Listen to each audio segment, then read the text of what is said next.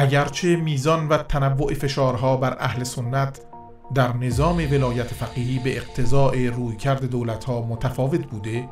اما آنچه همیشه ثابت و لایتغیر مانده نظر و دیدگاه ایدئولوژیکی و متعصبانه صاحبان قدرت در جمهوری اسلامی نسبت به اهل سنت و نحوه برخورد با آنهاست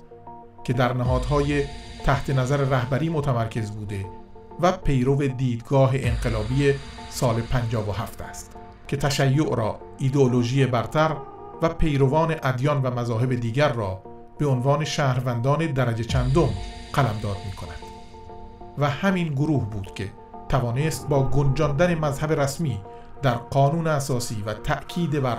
اصل ولایت مطلقی فقیه سایر شهروندان را از حقوق و صلاحیتهایشان محروم نماید. یکی از عمده پروژه های متعصبانه و مذهبی نظام علیه اهل سنت اعمال فشار بر مدارس دینی و علمای اهل سنت و ایجاد محدودیت های جدی برای آنهاست که در جهت سرکوب اهل سنت و علمای تراز اول آن طراحی شده و از برجسته ترین آنها طرحی است موسوم به ساماندهی مدارس اهل سنت. این طرح زیر نظر و مدیریت بیت رهبری و با تکیه بر التزام به اصل ولایت فقیه طراحی شده است. اصلی که نه تنها هیچ سنخیتی با احکام شرعی اهل سنت ندارد بلکه در تضاد سریح با اعتقادات آن است. اگرچه این اصل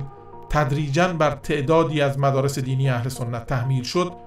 اما مورد مخالفت جدی قاطبه علمای اهل سنت قرار گرفت. به همین بهانه بود نیز که بسیاری از علما و حقگویان مخالف این طرح توبیخ و تهدید و بازداشت و شکنجه و گاهن ترور شدند. از دیگر طرحهای حاکمیت در محدود کردن علمای اهل سنت کنترل امنیتی بر آنهاست تا جایی که علاوه بر سفرهای خارجی سفر به شهرها و استانهای ایران نیز برای بسیاری از علمای اهل سنت ممنوع شد. مولوی عبدالحمید در این باره می‌گوید